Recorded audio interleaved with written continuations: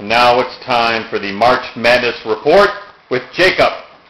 First off, Jacob, what's going on in the background here with the game there? Oh, they just took it off.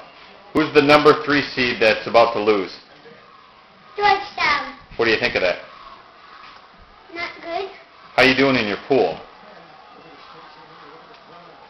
Um, and I took UNLV to win, but Northern Iowa was up by three.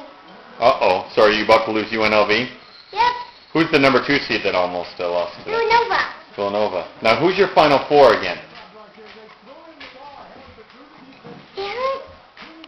I don't remember, but I know one was Syracuse and the other was Duke. Oh, yeah, your Final Four is right there, kid. Yeah.